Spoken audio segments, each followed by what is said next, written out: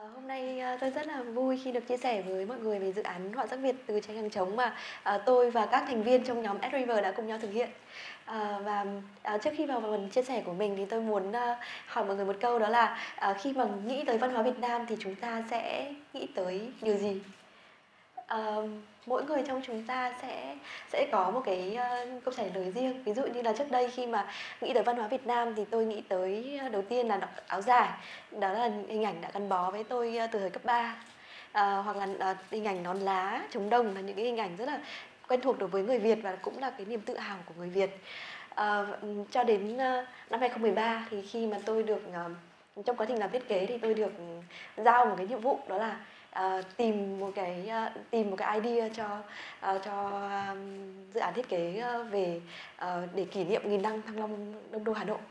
uh, và nhiệm vụ của tôi là tìm một địa điểm của Hà Nội mà không ở nơi nào có mà chỉ Hà Nội có thôi. Ờ, và đó chính là cái duyên mà đưa tôi đến với nghệ nhân Lê Đình Nghiên, ờ, nghệ nhân tranh hàng chống một cái dòng tranh đặc trưng, ờ, có, um, bề dày lịch sử 400 năm của kinh đô Thăng Long, Hà Nội. Ờ, và, và, Ờ, khi tới nhà bác Lê Đình Nghiên thì đó là lần đầu tiên, ờ, tôi đã được, ờ, nhìn thấy một bức tranh hàng chống thật, với với kích thước rất lớn và và màu sắc cũng như tạo hình cực kỳ là cá tính và rất là đặc biệt. Và khi khi mà tôi, được nghe bác Lê Đình Nghiên, chia sẻ về ý nghĩa, của những bức tranh, ví dụ như là, bức tranh về tố nữ,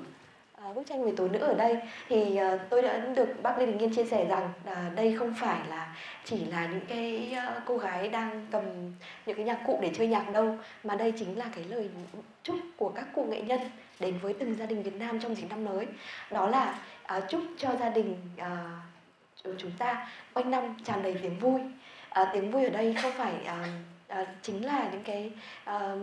âm thanh vô vô cùng là ấm cúng trong gia đình, đó là tiếng vợ chồng trò chuyện, tiếng, ờ, cười vui con trẻ, tiếng lách cách mâm cơm. Ờ, và, ờ, tôi đã thực sự là rất là xúc động và yêu mến được với đối với bộ tranh này. Và tôi đã mua để treo trong gia đình mình và thực sự khi mà treo bộ tranh này trong gia đình thì ờ, tôi thấy rằng là cái lời nhắc về tiếng vui trong gia đình là vẫn luôn luôn không bao giờ cũ. Và, à, những giá trị truyền thống của Việt Nam về gia đình, ờ, vẫn còn rất là ý nghĩa đối với thời điểm hiện tại của chúng ta. Ờ, và từ những cái tình yêu đơn giản như vậy thì tôi, ờ, rất là thích, tôi cứ tự hỏi là tại sao, mình sinh ra lớn lên ở Hà Nội và cũng là người người làm trong ngành mỹ thuật, về thiết kế mỹ thuật mà tôi lại không biết được, à, là Hà Nội lại có một cái dòng tranh tuyệt vời như thế này. Và tôi đã cất công để tôi tìm hiểu thêm, thì, uh, tôi, uh, thấy là số lượng tranh rất là đồ sộ, uh, hàng trăm tranh với rất nhiều các cái đề tài khác nhau về tranh thờ, tranh Tết, rồi tranh thế sự. Ờ, và còn và, à, tôi rất là tôi rất là yêu mến và muốn tìm hiểu, nhưng mà, ờ, thực sự là để tìm hiểu về tranh hàng trống cũng không hề dễ dàng chút nào cả. Bởi vì tranh hàng từ lâu đã không không được các gia đình ở Hà Nội, uh, treo vào ngày Tết cũng như là để thờ cúng nữa. uh, và tôi cũng cảm thấy rất là buồn khi mà bác Lê Đình Nghiên có chia sẻ, là với tôi một câu mà tôi rất sốc đó là, ừ, bác chắc sắp phải bỏ nghề rồi. Tại vì bác là người cuối cùng vẽ tranh, nhưng mà bây giờ mọi người cũng không ai đặt tranh nhiều như ngày xưa nữa. Và bây giờ rất lâu rồi không không không còn uh, bác cũng không còn vẽ nhiều. Và thực sự đó là cái, điều mà tôi vô cùng là, uh, là chăn trở và tôi quyết định là, um, đây là những cái nguyên liệu rất là quý giá, những cái giá trị mà cha ông để lại cho chúng ta và chúng ta sẽ cần phải giữ lại. Rồi từ đó là tôi quyết định là, uh, sưu tập tranh từ năm 2013 đến 2019 là 7 năm. uh, thì, ờ, và, ờ, uh, tôi và tôi có khi mà tôi tổ chức những cái triển lãm thì những bức tranh hàng trống, uh, khi mà tôi tôi tổ chức thì, uh, bạn mời bạn bè đến để để xem tranh, để để trò chuyện. Thì mọi người đều dành những cái sự yêu mến, ờ, đối với tranh hàng trống. Ờ, và, tôi nghĩ rằng là, ờ, khi mà cuộc sống thay đổi, ví dụ như trước đây thì khi mà khoa học kỹ thuật chưa phát triển thì các cụ nhà mình khi mà, thấy lũ lụt, thiên tai thì lại, muốn, cầu mong một cái cuộc sống ấm no, hạnh phúc và mùa màng tốt tươi, không bị thiên tai thì các cụ sẽ, dựa vào cầu cúng, Ờ, và để mong một cái cuộc sống tốt lành. Nhưng mà với cái cuộc sống hiện tại của Việt Nam thì khoa học kỹ thuật và công nghệ phát triển rất là mạnh, nó có đã có dự báo thời tiết, đã có rất nhiều những cái phương cách để phòng chống lũ. Thì, ờ, chúng ta sẽ không dựa vào cầu cúng nữa mà sẽ dựa vào thông tin, dựa vào kỹ thuật. và từ đó là tranh thờ sẽ không không còn được nhiều người uh, sử dụng nữa đấy và đấy là một cái quy luật rất là bình thường và rất là tự nhiên uh, của cuộc sống thôi Ờ, và và lúc đó thì tôi cũng uh, uh, nảy ra một ý tưởng đó là um, bởi vì tôi là một nhà thiết kế và khi mà tìm những cái nguyên liệu về họa tiết truyền thống để ứng dụng lên các cái sản phẩm thiết kế hiện đại thì uh, tôi đã gặp tôi và các đồng nghiệp của mình gặp cực kỳ nhiều khó khăn bởi vì chỉ cần một cú click trên uh,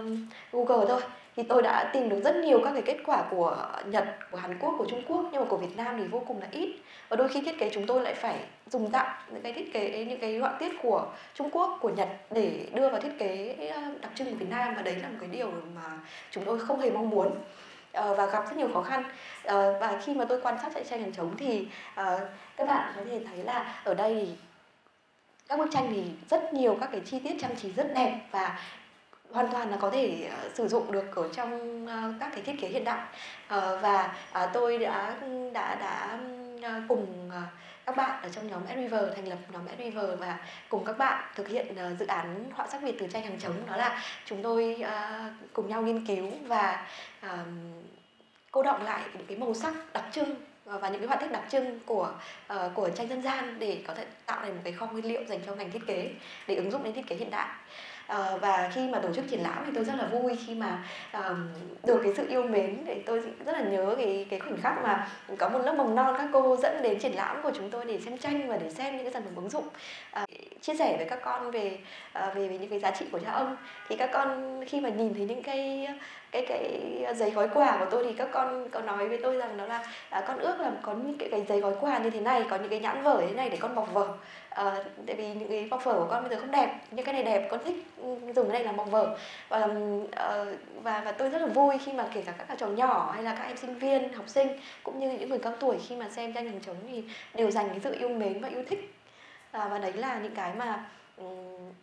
tạo những cái thêm những cái động lực để tôi và các thành viên trong nhóm Weaver tiếp tục dự án của mình.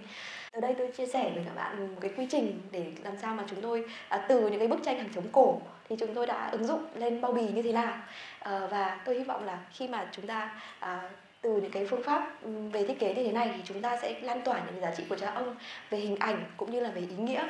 À, và à, đây chính là à, phần mà À, khi mà nhìn đến những cái sản phẩm này của Nhật thì tôi hy vọng rằng là Việt Nam chúng ta cũng sẽ uh, có được những cái thiết kế um,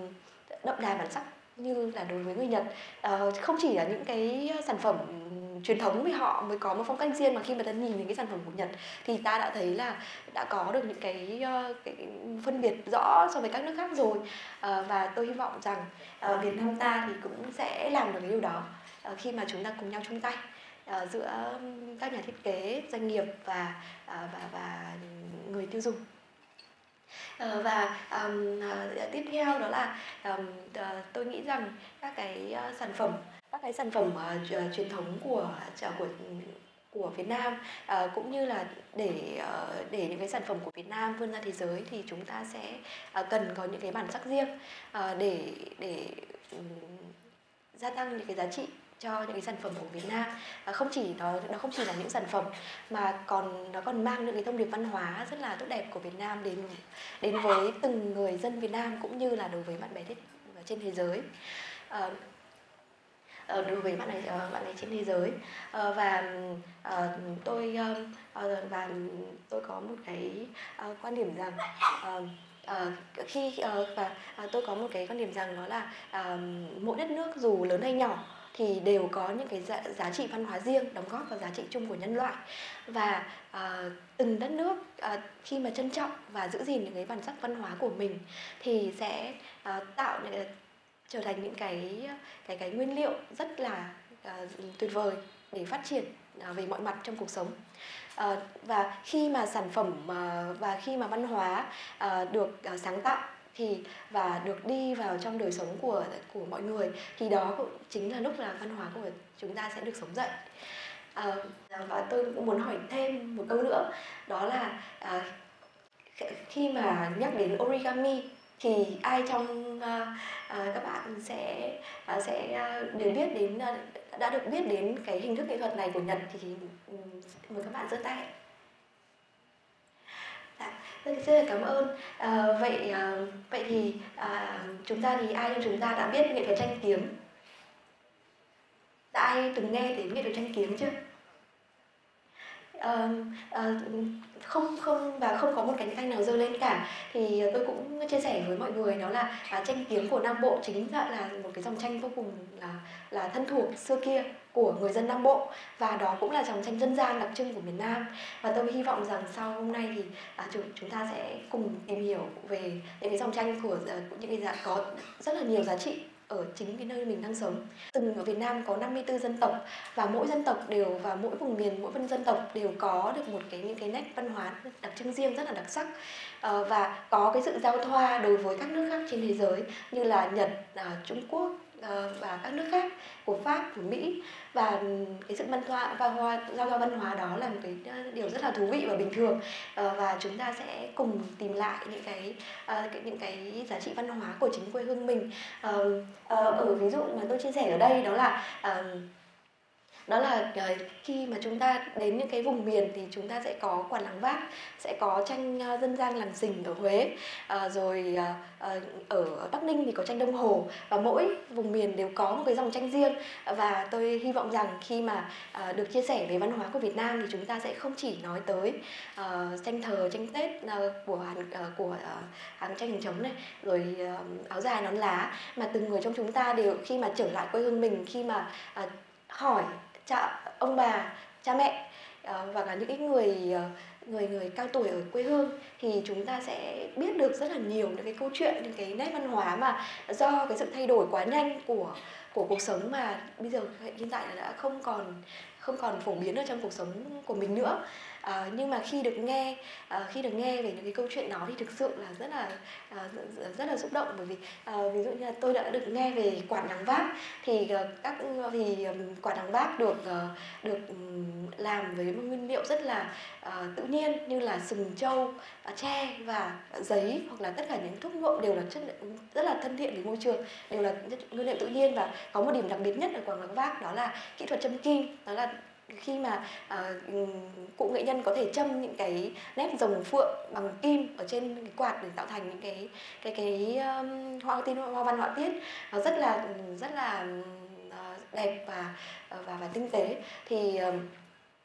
Ờ, và tôi cũng rất là tiếc khi mà tôi biết đến câu chuyện này thì ờ, và tìm về làng thì rất là tiếc là cụ nghệ nhân ờ, duy nhất về nghệ thuật châm kim ở làng Vác thì đã qua đời và không có truyền nhân và tôi đã không thể nào mà biết được ừ, những cái câu chuyện đằng sau về về cái kỹ thuật châm kim đó cũng như là cái, những cái kỹ thuật điêu luyện mà các cụ nghệ nhân còn để lại. Và đấy là một cái điều mà tôi cảm thấy rất tiếc và tôi hy vọng rằng uh, mỗi chúng ta sẽ cùng hành động để có thể là uh, mang lại một cái sức sống mới cho văn hóa Việt Nam cũng như là duy trì những cái giá trị của chính quê hương mình. Uh, uh, đối với tôi thì văn hóa thì không phải là những cái gì mà uh, các cụ để lại cho mình từ quá khứ mà văn hóa là một dòng chảy nó đang chảy từ quá khứ đến hiện tại và cả tương lai. Và mỗi người trong chúng ta là một giọt giọt nước ở trong đó. Ờ, à, và um, à, tôi tôi và các thành viên trong nhóm giờ đều là những cái giọt nước rất là nhỏ bé thôi. Đều phải đối mặt với những cái điều rất là bình thường trong cuộc sống như là uh, nuôi dạy con cái hay là uh, duy trì cái cuộc sống trong gia đình. Nhưng mà chúng tôi đã uh, cố gắng để làm sao mà tìm về những cái giá trị của truyền thống của của của quê hương mình để để để có thể uh, Ờ, có thể là sáng tạo và phát triển nó. Thì uh, tôi hy vọng rằng uh, trong những cái uh, buổi tiếp theo của TEDx Dakar thì sẽ tôi sẽ không còn đứng ở đây để làm diễn giả nữa mà sẽ ở vị trí uh, của của một người nghe. Và và ở diễn giả ở trên đây là chính là những người là là các bạn đang ngồi đây. Và sẽ đứng trên đây để chia sẻ về những cái giá trị những cái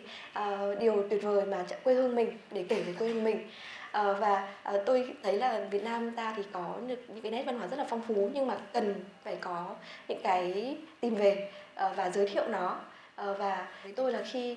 khi một giọt nước nhỏ bé thì sẽ không không làm được nhiều điều điều nhưng mà nhiều giọt nước cùng nhau đi về một hướng sẽ tạo thành một cái dòng chảy riêng. Và đó chính là dòng chảy văn hóa Việt Nam mà mỗi người chúng ta đều tham gia ở trong đó. À, sau đây là tôi xin à, kết thúc phần à, chia sẻ của mình. Ờ, và rất cảm ơn các bạn đã đến đây và lắng nghe.